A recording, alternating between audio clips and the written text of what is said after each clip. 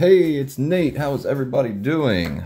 I found some fat packs of 2024 Topps update and 36 cards in each pack and uh, got four of them so we'll see what we can pull found these at GameStop for $6.99 first one up seen a lot of the base already and see what's on the back we've got is this an auto I think we pulled an autograph out of our first pack.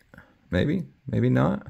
No, it is Bryce Harper, LHC number nine. It is a Let Him Cook Bryce Harper out of 299, 212 of 299.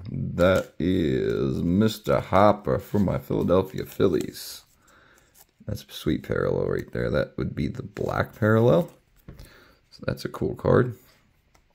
Very cool. First pack. Let him cook. Let him cook, let him cook, let him cook. Whatever he wants to cook, Mr. Harper can cook. And we've got Roger Clemens on the 89 insert and Stars of MLB. All right, second one. So that was first numbered card in that one. Second pack, we've got a bunch of base. And we got Jackson Holliday there. And behind Jackson Holliday is Jorge Barrosa out of 999. Rookie for the Diamondbacks on the blue foil. Jorge Barrosa out of 299 and stars of MLB. All right, two packs, two numbered cards. Second one up. We got lots of base. And we've got a gold. And who do we have? For the Reds, who is this going to be?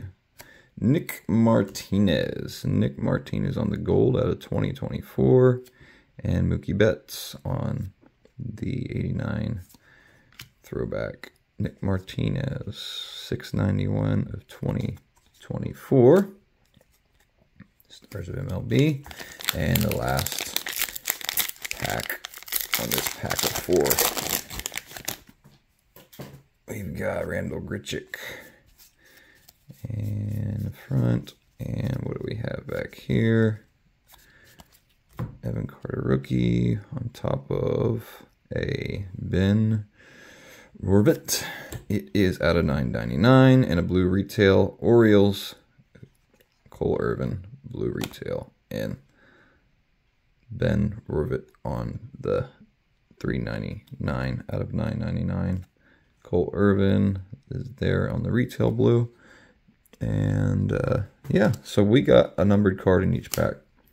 First pack, we got the Let Him Cook Bryce Harper out of 299 black parallel.